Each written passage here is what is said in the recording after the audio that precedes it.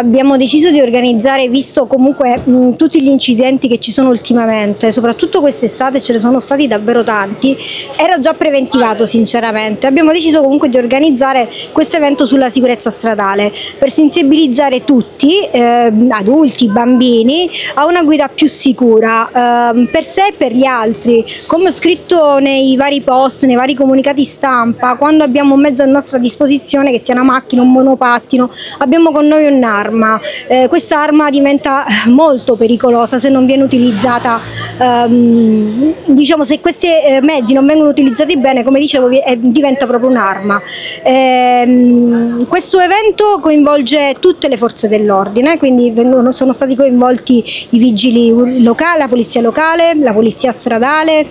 i vigili del fuoco, eh, quindi abbiamo cercato di coinvolgere davvero tutti, anche l'ACI è un'associazione, l'associazione HELP di promozione sociale per quanto riguarda ehm, i primi interventi che devono essere effettuati in caso di incidente stradale, perché molte volte ci troviamo ad assistere ad un incidente ma non sappiamo come comportarci, Eh, quindi grazie a questa associazione eh, capiremo un po' meglio come poter aiutare le persone che magari in quel momento sono in difficoltà.